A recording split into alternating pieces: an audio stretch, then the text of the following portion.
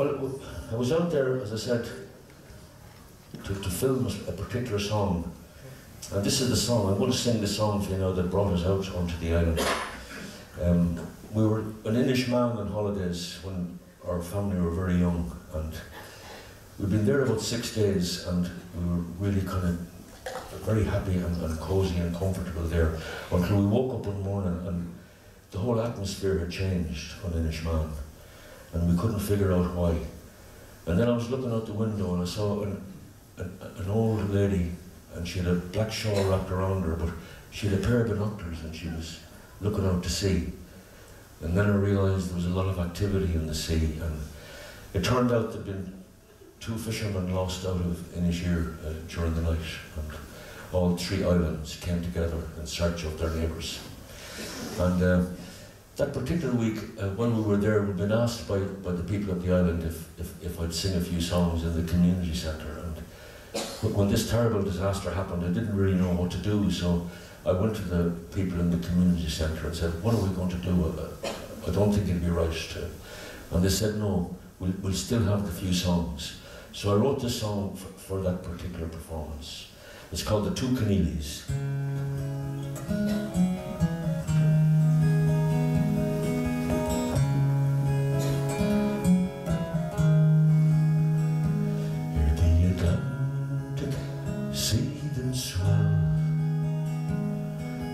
Lonesome chapel bell.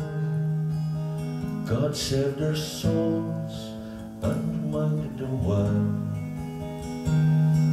The two fishermen Conneelys Yesterday at half past four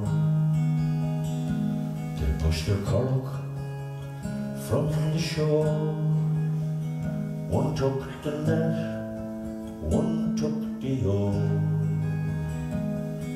The two fishermen Conneelys From Connor's Fort and from Synge's Chair Towards Inishmore and Inisheer They scoured the sea in silent prayer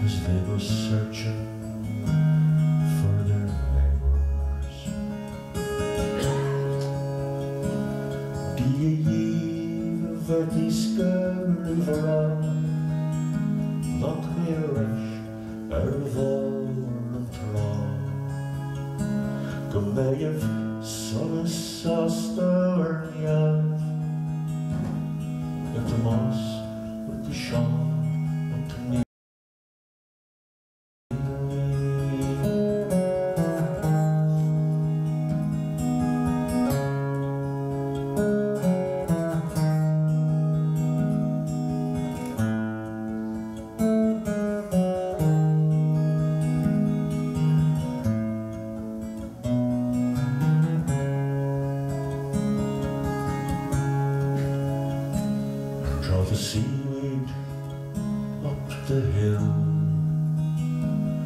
våren potatoes in the sånne Try to understand God's will.